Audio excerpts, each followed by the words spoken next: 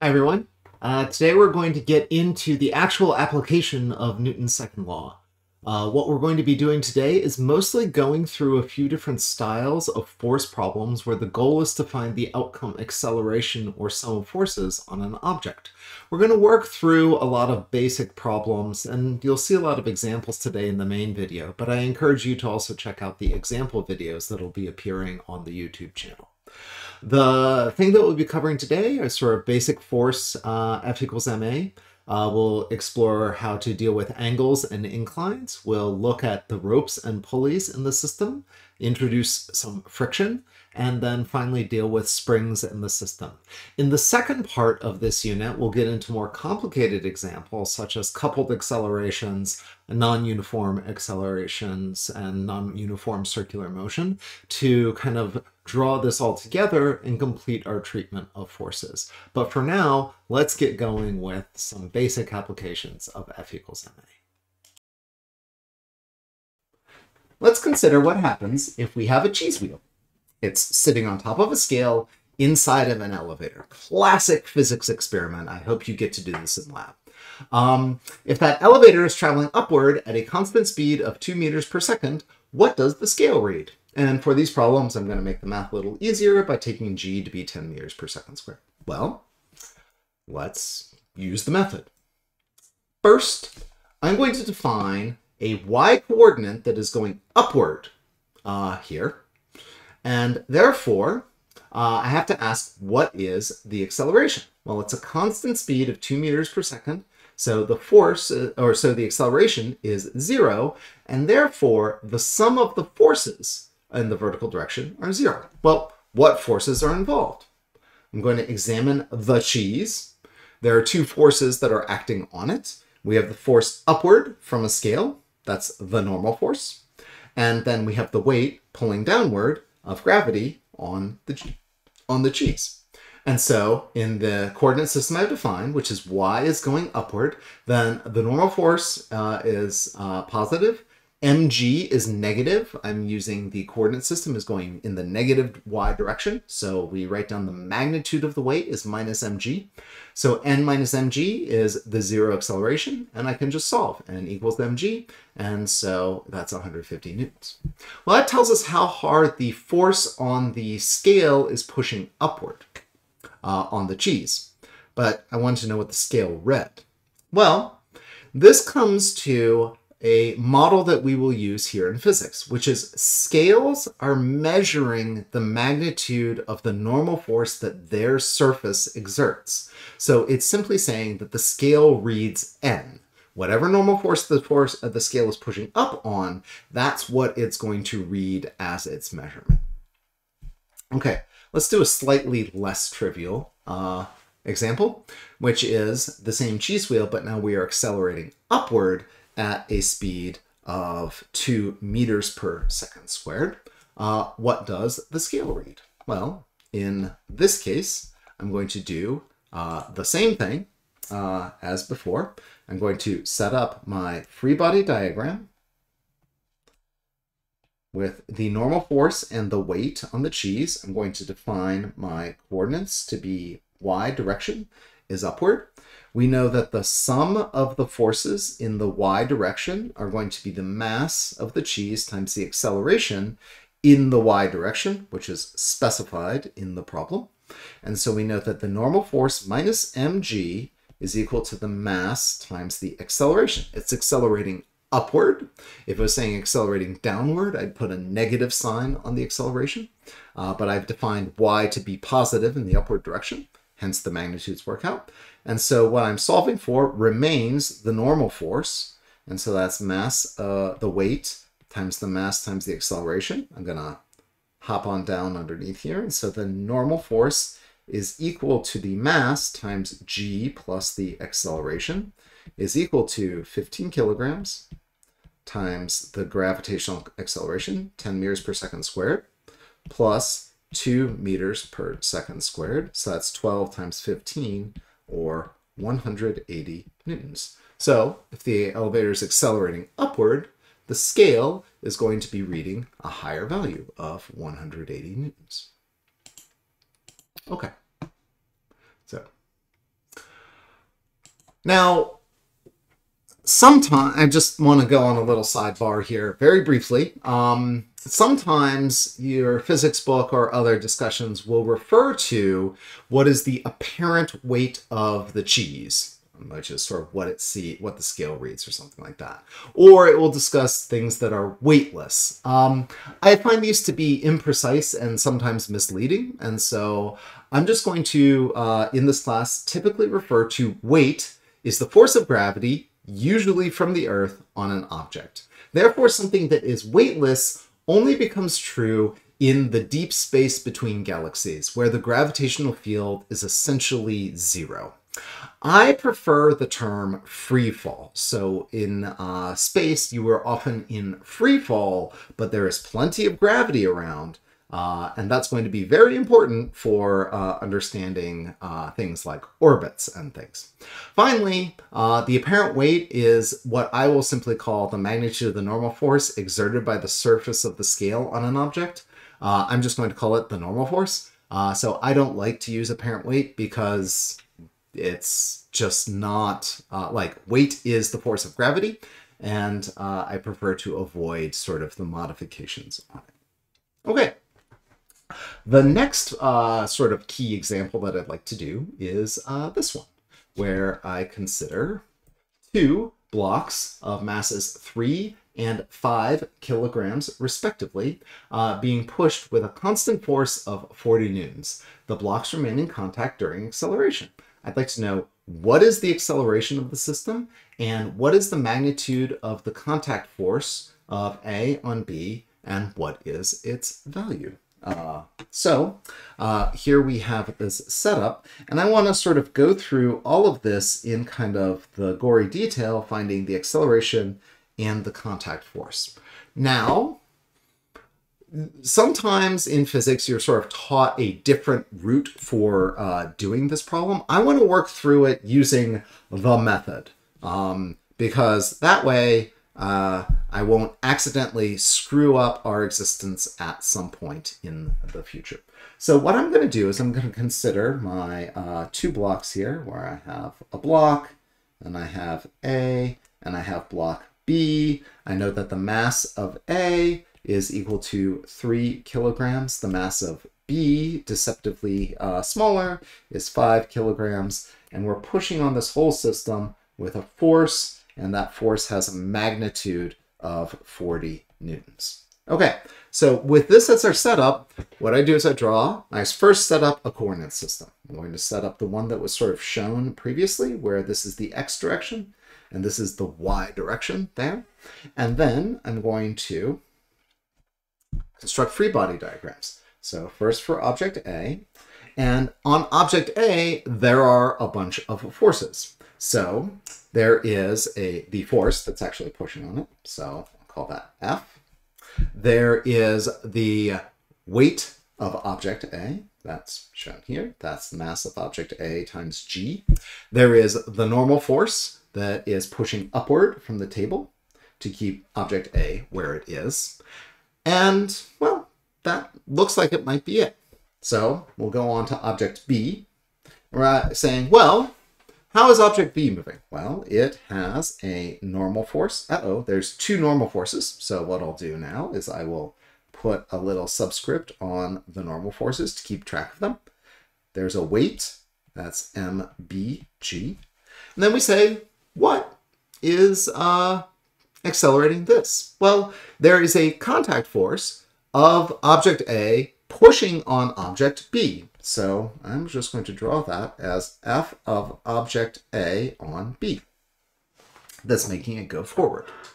Ah, so at this point, alarm bells are going off in my head because I have two objects and I have a force between them. And if I have a force between them, this F of A on B, the other free body diagram must contain the Newton third law pair of force. So it's the force of B on A. And it's equal in magnitude and opposite. So I'm going to draw that right here. So it's pointing in the opposite direction of FAB here. And I'm going to call that F of BA. And I'm going to note that the magnitude of FAB is equal to the magnitude of FBA. And so without the actual vectors uh, attached to them, I will say that f of AB is f of BA, and this is magnitudes only. Directions are opposite. That's going to become important because I'm going to write down some equations now. I got myself some coordinates, and uh, I'm going to assert that we don't really care about what's happening in the y direction. This is an x problem only. So I'm going to write down the sum of the forces in the x direction for object A uh, over here. And so I can look at that. I've defined the positive x direction up here uh, to be to the right. And so uh, then the force in the positive x direction is F. So I'll write that down as F. And then in the negative x direction, we have FBA pushing. And so I use the negative x direction by writing down the magnitude of force with a sign on it indicating that it is going opposite my plus x-axis, so that's f of b a. Okay, so that sets up my uh, first equation, and then that's equal to the mass of object A times the acceleration. Uh, object B is going to have a very similar uh, set of forces. So sum of the forces in the x direction for object B is just going to be the force of AB. There is nothing going backwards and that's equal to the mass of object B times the acceleration. Now I'm going to use the equivalence of these and these two equations to solve and figure out the things that I need to know. Uh, so the first thing I'm going to do is I'm going to take the FAB and substitute it in for FBA because those two magnitudes are equal. And so then I'm going to say that F minus mb times the acceleration is equal to mass a times the acceleration. And then I can solve, and I find that force is equal to the mass of a plus the mass of b times the acceleration, or then the acceleration is the force over ma plus mb, which is equal to 40 newtons over uh, 3 kilograms plus 5 kilograms which is going to be equal to 5 meters per second squared. We want to pause here for a moment and just note that sometimes your physics teacher may have instructed you to say if you have a system like this, you can kind of treat it as an aggregate system, consider the force that's pushed on it, and say this is force over the total mass of the system, and that gives me the acceleration, and find the acceleration that way. That's correct in some cases, but the fine print on that will sometimes screw you. And so be careful uh, when you're doing this. Um, and uh, sometimes you will get in cases where you actually have to care about different forces acting on A and B or additional contact forces between them, in which case this whole system will not work nearly as nicely as uh, you would hope.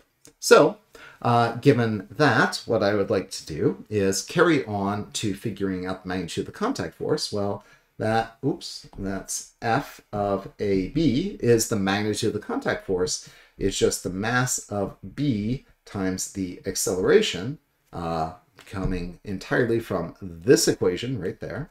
And then that is 5 kilograms times 5 meters per second squared is the 25 newtons. Problem solved. Okay, uh, the next problem I'd like to introduce is that of an amoeba. So I have an amoeba sitting here on an inclined plane uh, it has a uh, mass of one nanogram. The angle is 60 degrees, diagram so very not to scale. And I'd like to know the magnitude of the normal force of the ramp acting on the amoeba, and what is the acceleration of the amoeba down the ramp. So those are our two goals in doing this. And uh, this is kind of a classic problem of something sitting on an inclined plane. Uh, I'd like to start out by constructing a coordinate system for the amoeba. And I'm going to choose a coordinate system that is parallel and perpendicular to the amoeba's plane of motion. So I'm going to pick an n t coordinate system. This is our wonderful way of using that, where there's a tangent component and a normal component along and perpendicular to the plane of motion. And so that's going to give me a lovely coordinate system where I can carry out my F equals ma. Uh, I have a force on the amoeba, uh, or I have some forces on the amoeba, and I'm going to write down the free body diagram for them. I have two forces. I have the weight of the amoeba, mass times g, and then I have a normal force, and that normal force is acting perpendicular to the surface of the plane. Normal force. And if I then want to decompose this into my nt coordinates, so I'll draw those in red to indicate that they are coordinates and not vectors, I'm going to have to do a little bit of trigonometry.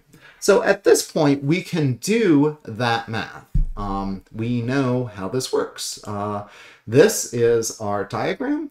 Uh, we need to kind of break down uh, this weight vector here into the nt coordinates. And so the geometry of this is that the uh, dotted triangle that I'm drawing here and the overall blue triangle are geometric in the sense of, or similar in the sense of geometry. So there is a similarity relationship uh, between them. And so I want to figure out how to relate the angle on the plane to the angle between the vectors and the nt coordinate system, which is kind of drawn along these two legs of the triangle. And this, uh, through doing the argument that this is theta and this is the complement of that angle and these two things are similar, we can figure out that the angle here is going to be 90 minus theta, and so this triangle here, this other angle here must be theta. So there's a little geometric proof that allows us to walk the angle around and find out the right direction here. Uh, but I always like to solve this by kind of imagining a limiting case. And if I imagine the limiting case, I can sort of figure out what happens if the ramp's angle changes and it got smaller. Then you ask, of these two angles, the theta or, or the angle here and the angle here, which one also gets smaller? And so in my mind, I always consider this limiting case of it's going to sort of shrink down here. And as this angle gets smaller, this angle gets smaller. And so that's going to help me when I'm doing my geometric D projections to make sure I always get the right angle. Okay, let's return to the uh, problem at hand where I am then trying to decompose this into NT coordinate systems. So I'm going to be considering the vectors projected into this and the normal force is already in that coordinate system. That's why we picked it. The normal force is shockingly in the normal direction. But then the weight is going to have to decompose into two components here. There's going to be a component in the normal direction and a component in the tangent direction. And we just argued that this was theta uh, based on the geometry of the problem, and that's the same value as this theta here. And therefore, if I consider my trig, this component here is going to mg cos theta, and this component here is going to mg sine theta. Then we can write down our uh, force relationships. So the force of the sum of the forces in the normal direction is going to be the plus direction is going to be the normal force, and in the minus direction is going to be minus mg cos theta. By the constraints of the system, the uh, amoeba accelerates down the ramp, so its normal acceleration is zero, so it's going purely in the tangent direction.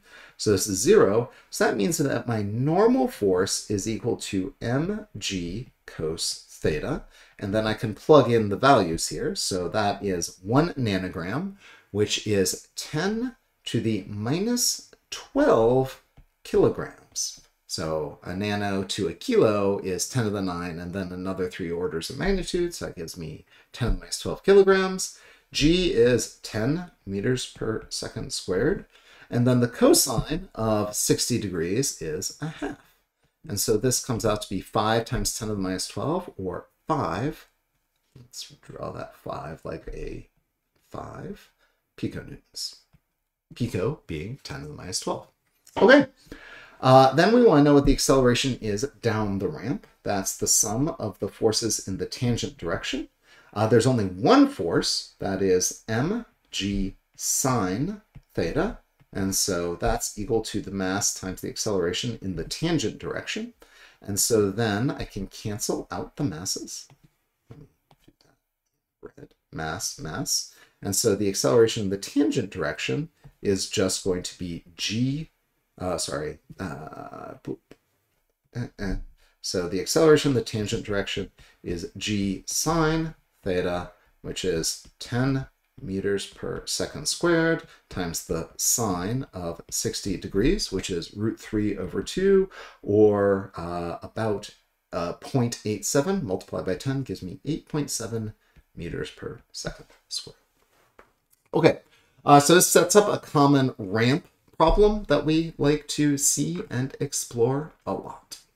Okay, uh, we have a few more cases to consider here. Uh, the last one is uh, these pulley systems. And so what I'd like to know uh, in this case is uh, a scenario where uh, we want to solve a problem like this. Consider this pulley system, which is being used by somebody to raise a big bag of wasabi peas, 100 kilograms, uh, upward at a constant speed. What is the magnitude of the force they are pulling on the rope with? Well, uh, this is a kind of interesting problem to start because there are um, this uh, system here, and I want to analyze it in a little bit of detail uh, because these pulley systems can get kind of tricky. I want to consider this uh, rope here. If I'm pulling down on it with a force F, that means that throughout the rope, there's a tension force that's equal to F. So everywhere along here, there's a tension in the rope that is equal to the force. So that's what I mean. The magnitude of the tension is equal to the force. And I want to start by analyzing the forces on this pulley system here.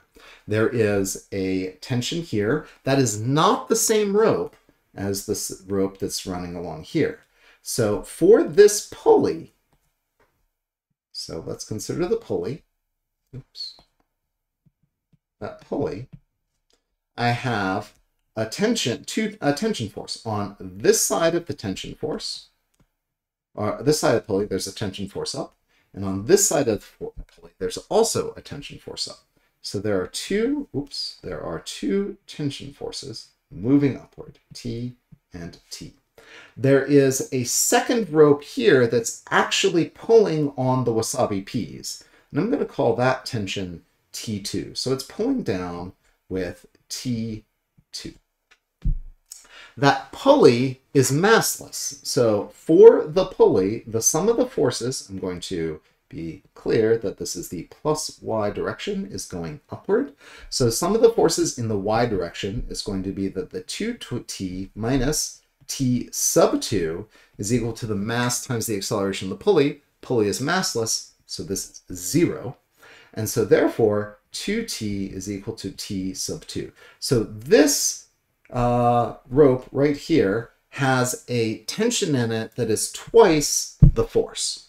Um, so let me go ahead and say that T2 has a magnitude of 2F. Next, I want to consider the free body diagram on the peas themselves. That has T2 pulling up, F, or sorry, mg is pulling down. The sum of those forces is going to be zero because they are moving upward at a constant speed. So we know that T2 minus mg is equal to 0. So T2 equals mg. And so that's 2f that's equal times mg. I know what uh, the mass of the wasabi peas is. And so F must be equal to the mass of wasabi peas, 100 kilograms, times the acceleration due to gravity, 10 meters per second squared, all over 2, or 500 newtons. So that is a way of solving it. So what's kind of neat about this, uh, and is the reason why people use pulleys, is that pulling on one end with a force F uh, is going to end up pulling upward on the wasabi peas with a force of magnitude 2F. And so that allows us to double the force that we're pulling upward on these wasabi peas, and that's basically why there's a field of engineering. So, moving onward. Want to consider what happens if that system is accelerating. And so this is a case where we have to pay a little bit more attention to what's happening to two objects in a system uh, where they're linked by a pulley system like this. Well, um, that's kind of uh, tricky because uh, this rope here is moving at kind of a sort of constant speed through here. But then this the wasabi peas are going to be moving at a different rate than the cow, uh, or a different magnitude, and certainly in a different direction. So I'd like for you to consider here is what happens if the wasabi peas move down. There we go. Go, wasabi peas. So move down. So if the cow moves up by some displacement delta y, then the peas are going to move down by some displacement delta y over 2. And that's because this rope here is going to get shorter by some distance delta y, but then that slack is going to be taken up on both sides of the pulley equally. And so that's going to divide the slack uh, into two parts, some over here and some over here. And the net effect of that is that the peas only move down by a height of delta y over 2. So we know that the time derivative of delta y, the two time derivatives of delta y give me the acceleration. And so that means two derivatives of the p's acceleration are going to give me an acceleration that is half the magnitude of the wasabi peas uh, or sorry, the wasabi peas are going to have a magnitude that's half that of the cow. And so, to be kind of clear about what's happening, I would mathematically have a relationship that the acceleration of the wasabi peas is going to be equal to half that of the cow. And if the cow moves up, the peas move down. So there must be a negative sign between them if we are considering everything in the uh, vertical direction only. Okay, so we have the idea of constrained accelerations, which we will explore in a little bit more detail as we go. All right, the final thing I want to talk about here Hi everyone, welcome to another exciting video here in Physics uh, 144. Uh, today's topic is we're going to get into discussing dynamics. This is the second part of the dynamics unit, and the main thing that we're going to be focusing on here is different types of forces. So the Previous lecture covered kind of our basic forces, gravitational forces, normal forces, tension forces. Uh, here in this video, we'll be going over a couple different cases where we have special models for our forces. And those are friction, a fluid force, and then the spring forces. And then we'll talk about how those apply in the context of circular motion. So without further ado, let's get started with the friction forces. So friction forces arise whenever two surfaces interact. Uh, these are generally solid objects that we are seeing uh, uh, connect with each other. And at the microphysical level, what's happening with friction is uh, we have these two objects and in a very small level, uh, there's all these little bumps and wiggles, these imperfections that kind of create uh, the surface itself. And at the atomic scale, those are very rough. There's a bunch of atoms and small features going up and down. And these small features end up creating small polar regions in the uh, material. And polar here in the electrostatic sense, meaning that they have a sort of net charge by kind of shaping up and having nuclei from atoms push up in one direction, and those are kind of crunched together, so the electrons are forced away. And so there's a slight polarity to these uh, these bumps and wiggles on the surfaces of the uh, on the surfaces. And then when one surface slides against each other, those uh, polar interactions electrostatically interact with each other, or they just have straight up normal force collisions, uh, like we discussed last time, where we have these electrostatic interactions there. Uh, friction is delightfully complicated. It's an incredible, di- incredibly difficult study to a s- subject to study uh, because you know, you think rough objects have high friction and then smooth objects should have sort of lower friction. But then it's weird because if you actually smooth the objects too much, they get sticky again. And this leads to a process called vacuum welding, where you go into a vacuum, you clean off a couple pieces of metal so that there's no oxides on the surface of them and stick them together. And if you take two perfect surfaces and stick them together, how do the atoms know which object they belong to? And it just becomes a single object. So this is a really weird small surface physics uh, uh, is a bizarre corner of physics, but it's amazing. And so it uh, gives rise to the study of friction.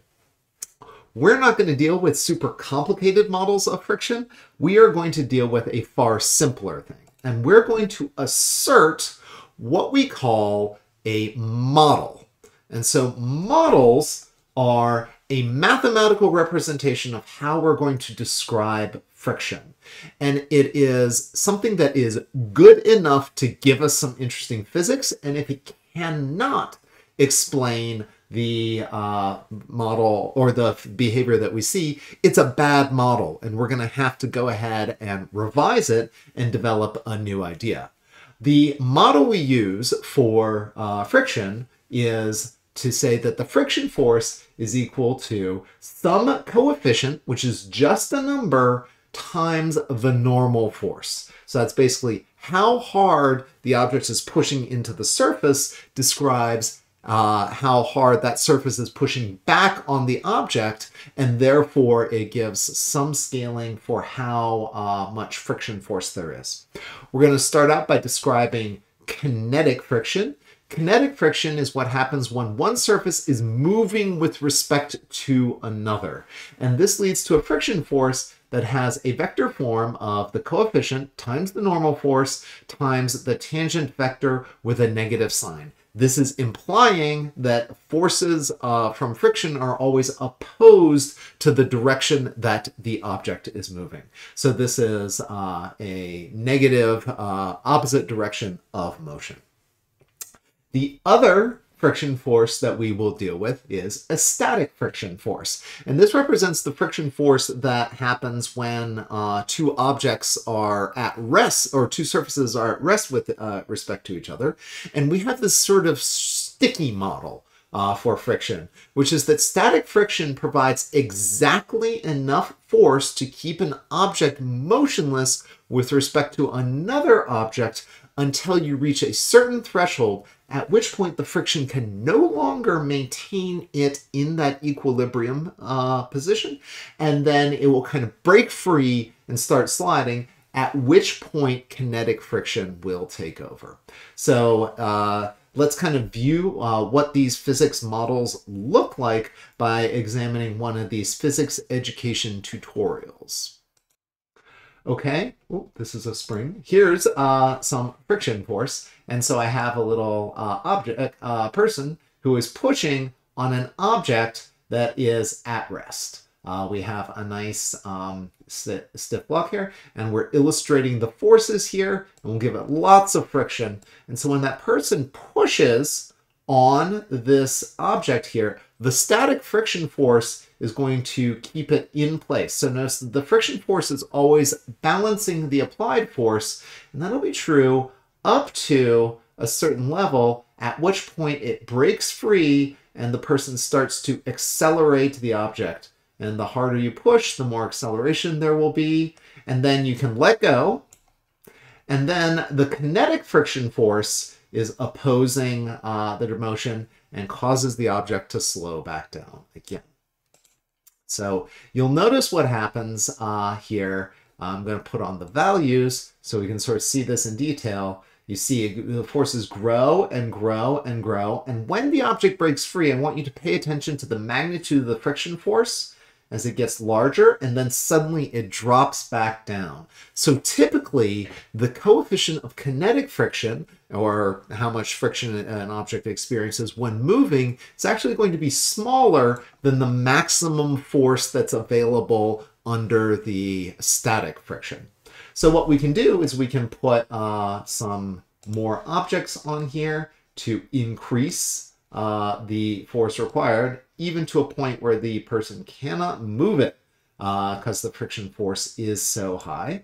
Uh, we can turn down the amount of friction and then they will, uh, that's the coefficient of friction, and then we will get the same behavior as last time. As the person pushes harder, uh, the object starts to move, and then the friction force will oppose the motion. So we have a very basic model for what the friction force is doing.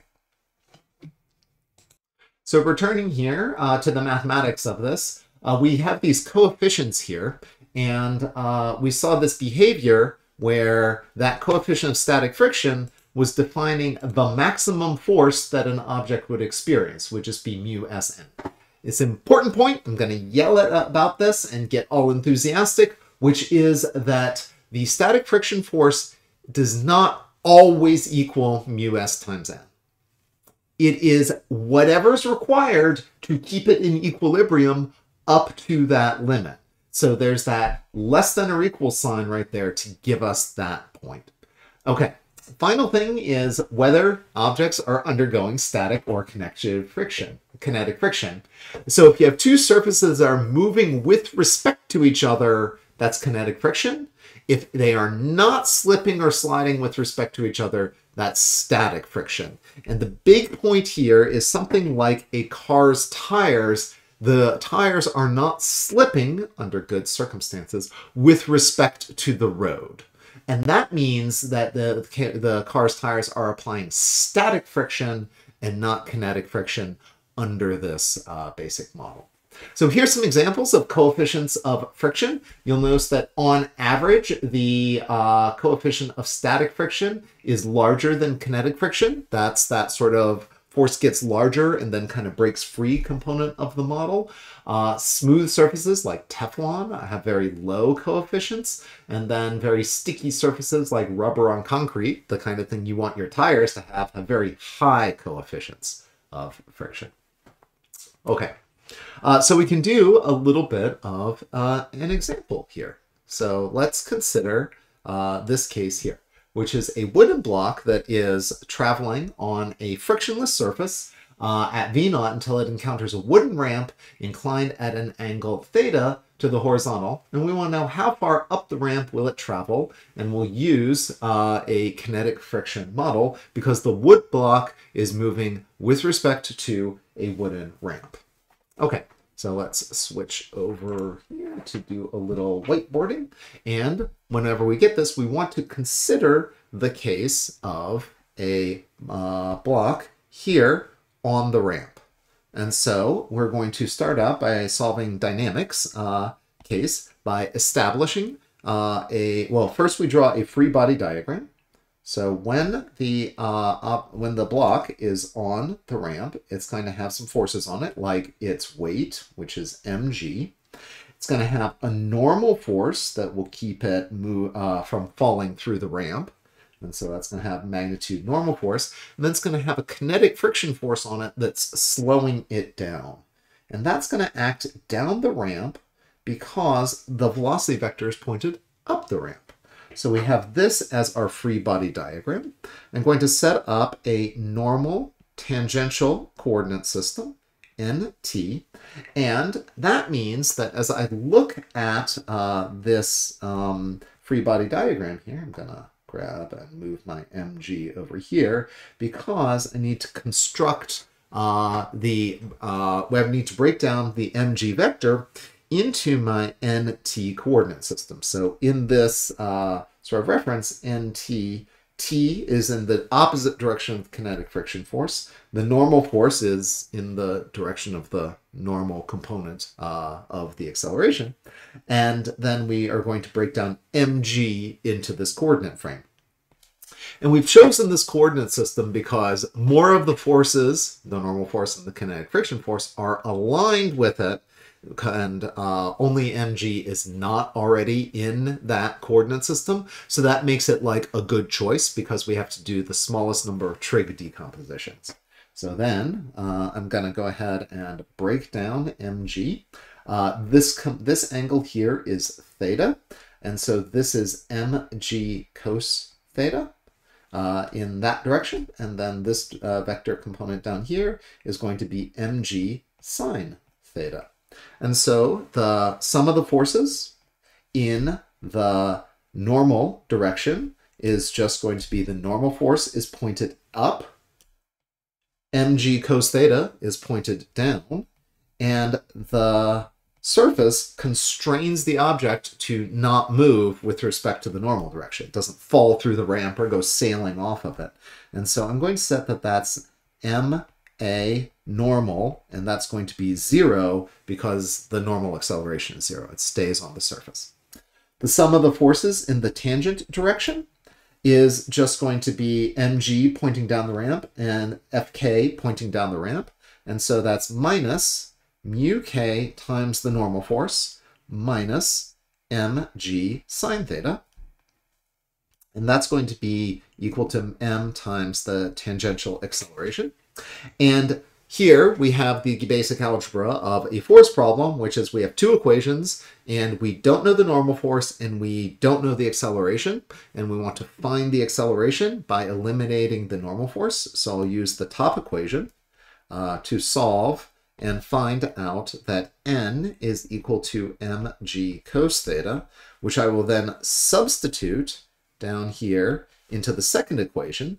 And then I'm going to get that minus mu k times mg cos theta minus mg sine theta is equal to mat. So carrying on with our solution here, uh, the first thing I notice is that there's an m in every term. There's one there, one there, and one there. So I am going to aggressively cancel that out cancel, cancel, cancel. And then I have a solution for my tangential acceleration, which I will just rewrite here. And I'll just say that A sub t is equal to, pull out a g, and that's mu k uh, cos theta plus sine theta. And there's a negative sign in front. So it's uh, has that magnitude with this combination of trig terms. And now I want to answer the question, how far up the ramp will it travel? Great news, everybody! This is a constant acceleration, which means that we are able to fall back on our kinematic equation, and the ones that I want to solve uh, use is that uh, the final velocity squared minus the initial velocity squared is equal to 2 times the acceleration times the distance up uh, from where it started. So it's going to be xi and xf. So this difference here is what we want. This is what we want. That's how far up the ramp it travels from its initial to its final position. Its final speed is going to go to zero because it's at rest. And therefore, I can solve that uh, in this case, x final minus x initial, what we care about, is equal to negative vi squared, uh, which is given as v naught in the problem, great, uh, times 2 times the acceleration, which is negative g times this mess of trig, mu k cos theta plus sine theta. And then we pull that all out, close brackets, cancel the negative signs, and we get that it's uh, whatever the initial, um, I'll sub in v naught for the initial speed, uh, so 2g times mu k cos theta plus sine theta. All right, fantastic. We have figured out how far up the ramp it goes. Okay, uh, so The next thing that we can consider is a different kind of friction. Uh, this case, it is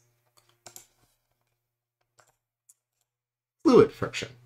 Now, fluids are an amazing study. It's one of my favorite corners of physics. And we have to worry about fluid resistance. The obvious kind of resistance that we worry about is air resistance. But I'm going to start out with a slightly simpler model. Uh, and uh, for certain types of fluid where we have relatively low speeds or very viscous thick liquids, so these are things like oils or corn syrup or something like that, high viscosity fluids, we can have a force model. Remember, like friction, it's a mathematical model that's good enough, which says that the drag force uh, on an object is just equal to some coefficient k times the velocity vector with a negative sign. So previously we asserted it was a coefficient times the uh, normal force. Uh, this coefficient carries units because uh, a velocity times something has to give us a force, and it depends on the shape of the object and the properties of the fluid. And uh, this particular model, for the aficionados in the audience, is the um, called the Stokes drag after the uh, scientist uh, Stokes. And so this is just sort of showing that as if a fluid is moving past a spherical object, it experiences this kind of drag force, uh, which they call big F here, and I've called little f over there. Now, uh, it's kind of an interesting model uh, because we also have a case where we have high uh, speeds and low viscosity uh, fluids. And when that happens, we get a property of fluids called turbulence, which starts setting in. And, oops, uh, let's see some turbulence. Uh, and so this shows uh, the kinds of behaviors that you see in a fluid pattern uh, as an object on the border of starting to have turbulent fluid flow. You get these really interesting vortices and whirls. And then as turbulence sets in, it becomes completely chaotic and a mess. And so this happens for objects that are moving quickly or in fluids that have low uh, viscosity, kind of like um, air uh, tends to be low viscosity fluid, and so we see a lot of turbulence as objects move through air. In that case, we use a force model that says that the drag force is some coefficient, again, times v squared, again, operating in the opposite direction of motion. So this one depends on the velocity squared, and then the Stokes drag only depends on the velocity uh, or sorry, this is the speed squared because it has no direction. I've included the direction with the tangent vector, unit vector, and a negative sign. Uh, the drag coefficient d is what tells us uh, the co uh, is uh, set by the fluid and the largely by the shape of the object. It's kind of cool because with these systems, you can actually set up a force balance. And you can basically say, at what point does something like an object falling through this fluid achieve a force equilibrium so there are no longer any accelerations. And we call this a terminal velocity. So if we drop an object into a thick, heavy fluid and it experiences Stokes drag, it will speed up because the weight is pulling it down, showing that here, until it reaches some maximum speed where the drag force balances the weight. And you can just say that the drag force equal uh, balances mg. So set up this particular uh, force diagram and solve for what that is. And we get what is called the terminal velocity, which depends on the weight of the object and then this k, which is fluid properties and object properties. So k is something that I have to specify in the problem if I want you to uh, solve it. Okay. Uh, similarly, if we do the same thing for the uh, turbulent drag model, uh, where it goes like velocity squared, you can set that up and find out that it takes the square root of mg over d for uh, that drag model. Okay. Let's talk about springs. So, uh, springs are not mentioned in your book yet, but I kind of want to call them out uh, here because we have a um, uh, we we basically have a very similar uh, approach to what we have with friction. Uh, so we model our spring forces with something that's called Hooke's law. It's a terrible name. It's not really a physical law. It is a mathematical model for how a spring would work. And uh, I apologize, but common notation is to once again call this a K. So there's a coefficient in front of it, and that's called the force constant of the spring. And it has units of force per unit distance, where the distance is the length of the spring minus the equilibrium length of the spring. And so if I stretch it, there's a negative sign out here, and it pulls it back towards equilibrium. And if I squeeze the spring, uh, that means that x is going to be less than x naught. This number is negative, and so then it's going to push it back towards equilibrium. So that always means that a spring is trying to get back to its equilibrium length. So I do have a, a force model here uh, that kind of illustrates it using this little uh, cartoon uh, available from the physics education tutorials.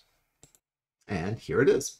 Uh, so we have uh, this spring here, and there are uh, no forces on our spring initially and then I can sort of push and grab it and push it and pull it and uh, be attached to it. And at equilibrium length, right about there, there is no uh, force acting on it. So I can have my applied force and my spring force, and you can't see any of them. And But then if I stretch it, you'll notice what's happening is if I'm pulling back, that's the red force, a spring force acts in the opposite direction of equilibrium. And then you can go the other way and scrunch that spring and push on it, and then it tries to restore to equilibrium. I can illustrate the equilibrium position and the displacement here from there, and you can see that the spring force is always acting in the opposite direction of its displacement. So we sort of see how that goes. And then uh, we also have the constant, spring constant K, we can really crank it up and get a big beefy spring and then pull on that. And you'll notice that for a tiny little displacement we get these huge forces uh, as a result of that. So if I crank this up to a thousand that means every 10 centimeters I go I get 100 newtons of force and if I push the other way I get 100 units uh, or 100 newtons gives me 10 centimeters of displacement. If I turn, so we have a maximum force of 100 newtons here. If I turn that down to uh, 100 newtons per meter, I can go a full meter uh, because the spring is uh, quite uh, sort of squishy. And so I can change my forces quite easily. And so that constant K indicates how stiff the spring is. Okay. Just want to do a quick example illustrating this, which says a spring has an equilibrium length of 0.1 meters and a spring constant of K equals 200 newtons per meter. If the spring is hung from a ceiling and a one kilogram mass is suspended from it, how long will it be? So we kind of have a cartoon here where we have a spring suspended from the ceiling, and I attach a mass to it, and then that mass stretches the spring downward, so it gets a little bit longer and it comes to an equilibrium. So initial, and we want to figure out how long this uh, uh, spring is, x, assuming that if there's no weight on it, it has a much shorter uh, spring, m. So, oh, sorry, without m. Yeah. Then in uh, equilibrium, it would have a shorter length that's x naught. So we write down our forces uh, using a free body diagram. We have a spring force that's pushing up. We have a weight that's pulling down. And so then we just say that the force on the in the spring minus mg leads it to equilibrium, so that's zero accelerations, and then I use my expression for the spring force, and the spring force is saying that if the spring is uh, at, at equilibrium, then it's going to uh, basically be pointed upward. And so the longer I displace my spring, so k times x minus x naught, minus mg is equal to zero. So as x gets longer, there's going to be a larger spring force uh, pushing up on it.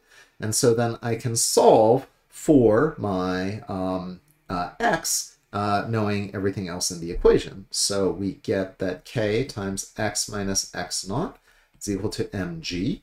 Divide by k, we get x minus x naught is mg over k. And then we get that x is equal to x naught plus mg over k. Then we plug in some numbers. So x is equal to naught, that's 0.1 meters, uh, given in the problem right about mm, here. Then we have our uh, mass, which is a solid one kilogram. We have g, which is 10 meters per second squared, because we're on a slightly bigger, better Earth, all over 200 newtons per meter, and is my spring constant. And so then I multiply this out, I get 10 over 200, that's 0.05. So that goes to 0.05 meters. And when I add those two pieces together, that's 0.15 meters and is the answer. A lot better.